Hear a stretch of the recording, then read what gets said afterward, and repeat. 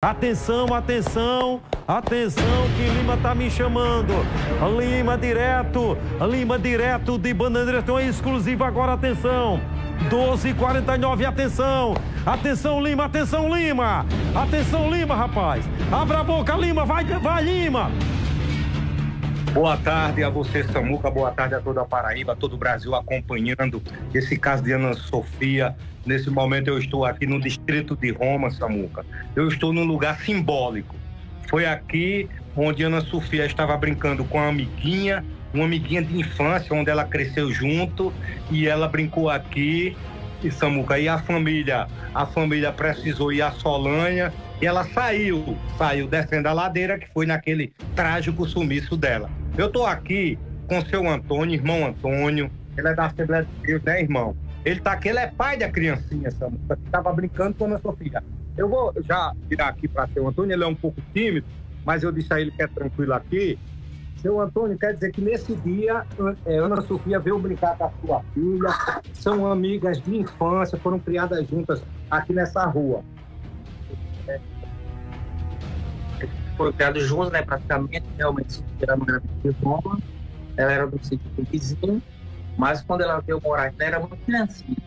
Então, a menina também, idade, cresceram juntos. Então, por elas têm esse, esse envolvimento dentro de criancinha, mesmo quando a Sofia se mudando daqui, ela sempre voltava aqui. Para brincar Pra com brincar. a amiguinha. Para brincar com a amiguinha. Então ela veio da casa dela, da outra rua para cá, brincar com a sua filha. Isso. Ela veio lá de onde ela morava, né? Anteriormente, e hoje ela não mora mais lá, a família mudou-se. Ela Subiu a ladeira, veio para cá, as câmeras pegam, né? Pega. Brincou aqui, depois desceu, Depois no desceu, meio do caminho sumiu. no meio do caminho sumiu. A minha câmera pega ela se despedindo da minha menina. Pega ela se despedindo, pega ela se é. despedindo. A câmera do mercado lá embaixo pega ela descendo. E a câmera que pegou ela subindo. Não pega ela Não descendo. pega mais ela descendo. Ô, ô, ô, ô, seu Antônio, como é que está sua filha? Assim, aparentemente por ser criança, ela não tem aquele sentimento tão forte como um adulto tem, mas geralmente quando ela vê as reportagens, a imagem de Sofia, as buscas por Sofia que fica falando, que mostra a imagem dela, sempre, sempre ela está chorando. Eu notei que o senhor também chora, né? A sua... Muito, muito, muito. Vocês estão tomando, todo mundo, quase todo mundo aqui no distrito está tomando remédios controlados. Eu converso com as pessoas, muita gente sem dormir, desenvolveu depressão, não foi? Um caso de idade que mexe realmente com a estrutura de qualquer ser humano, principalmente Sofia, que a gente tem uma certa aproximação dela. Né? A gente viu Sofia pra- praticamente crescer. É como se fosse uma sobrinha, convivência da amizade. Isso. Ô, seu Antônio, o senhor foi chamado na delegacia, prestou depoimento, entregou as imagens. Sim, assim que a polícia veio aqui, eu fui chamado assim, assim que a polícia veio aqui, eu já. O senhor sempre contribuiu. Sempre, assim que a polícia veio aqui, a imagem que eu tinha dela, assim como eu passei para a família de princípio, eu também passei para a polícia, entreguei o meu celular para a polícia e falei que estava.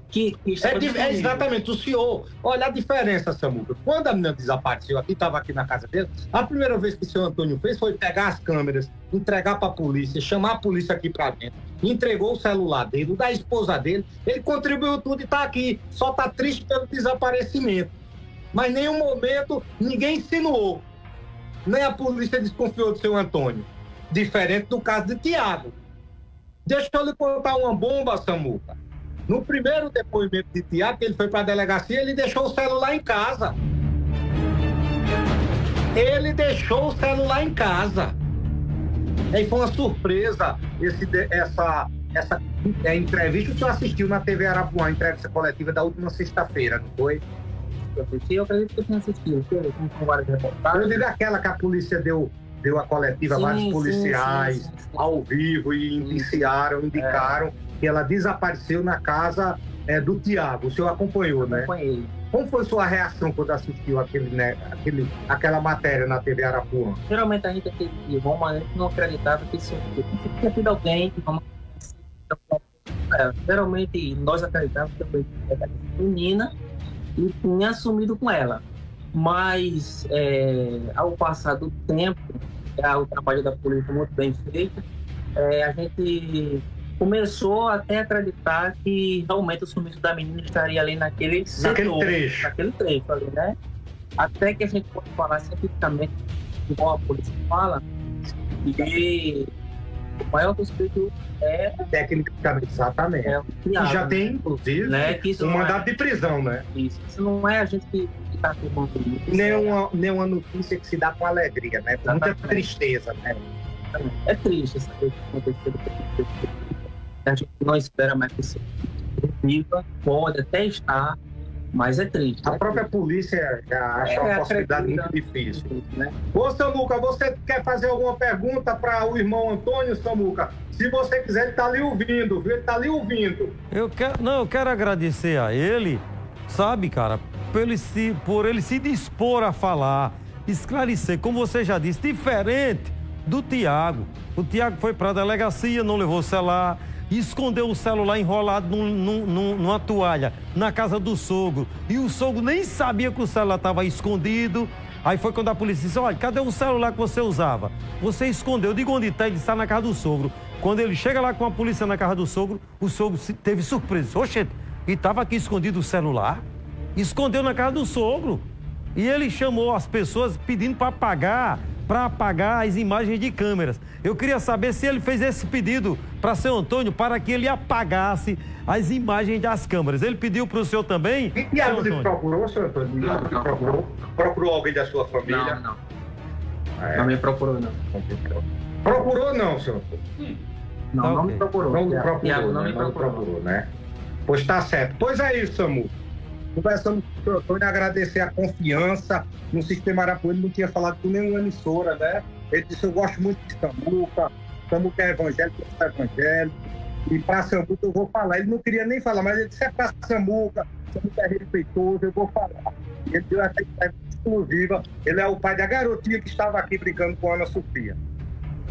Lima, obrigado a seu Antônio. Olha, e outra coisa, ele sempre ia para o trabalho na moto. No dia que Ana Silveira desapareceu, ele foi de carro. E a polícia descobriu que ainda houve um desvio do caminho. E ele chegou atrasado no trabalho. Aí a polícia disse: Poxa, o cara esconde o celular, formatou o celular mais de uma vez. Esconde o celular enrolado numa toalha na casa do sogro. Vai para o trabalho de carro que ele costumava ir de moto desvia o caminho, ainda chega atrasado e fica conversando uma coisa e uma hora diz outra. Escondeu a senha do celular, mentiu da senha.